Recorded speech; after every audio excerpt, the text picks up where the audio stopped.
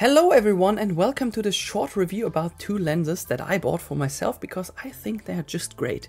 In this comparison, the Canon RF 14 to 35mm f4SL version for only 1800 bucks and the Canon RF 16mm f2.8 STM for only 350 bucks. If you like this video, I would be happy if you buy for instance the lens, the memory card or the camera using the link provided in the video description below. Thank you. The RF 16 to 35 mm weighs only 165 grams.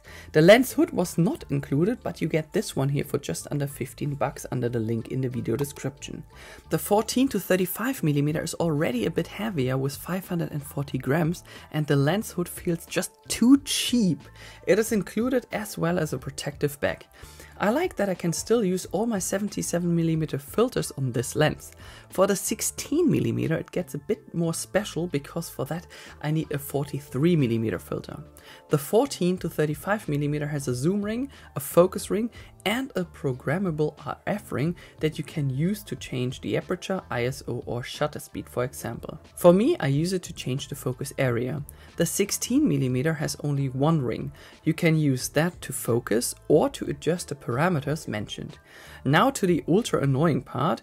If you want to switch between the autofocus and the manual focus, you can only do that via the Canon menu. An extra switch for the autofocus and manual focus and the image stabilizer can be found on the side of the 14 to 35 mm. I would worry less about chromatic aberrations, vignetting is very pronounced at fast apertures with both lenses.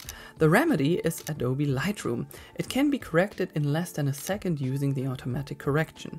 The situation is somewhat different with Depending on the angle, they can be very pronounced or less pronounced. Both lenses are perfect companions for your travels because everything fits on them.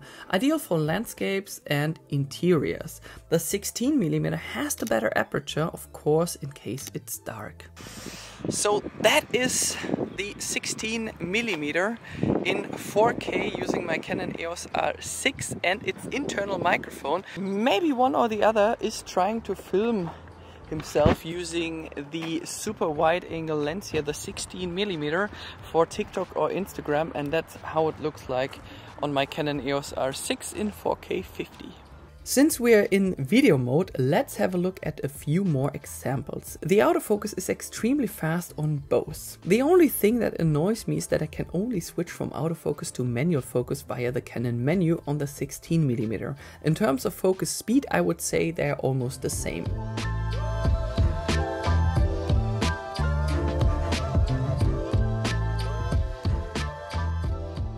Both lenses are extremely sharp starting wide open. You can check if the red ring makes a difference. You can find the sample files in the video description also in RAW.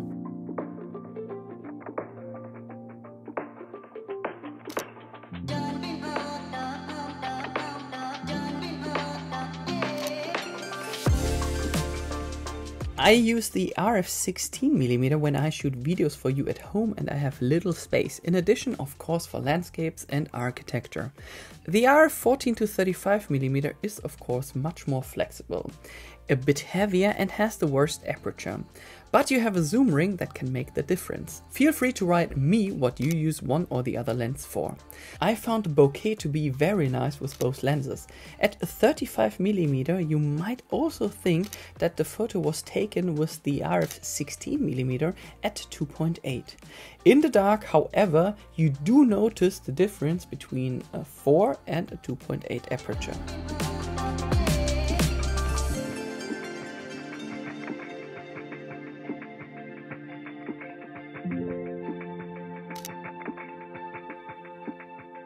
The closest focusing distance is an amazing 20 centimeters for the 14 to 35 millimeter and 26 centimeters for the 16 millimeter, ideal for detail shots for instance in the nature.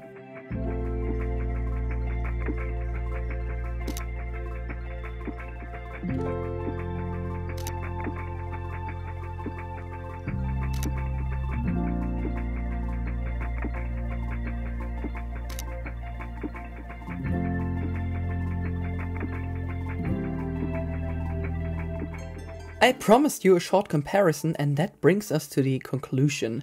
The 14 to 35mm is much more expensive, a bit heavier and has the worst aperture. But you have the maximum flexibility and have to spend 1800. For the 15 to 35mm with a 2.8 aperture you have to spend a little more. The 16mm is absolutely cheap for this performance, impresses with a 2.8 aperture and unfortunately has no extra switch for the autofocus and manual focus. For that, it's an ideal travel lens, shooting in the dark and for video blogs. Sharp and fast are both lenses. I am curious about your feedback. Which lens do you have or like the most? If you always want to be up to date, make sure to follow me on TikTok and Instagram. See you very soon and tschüss.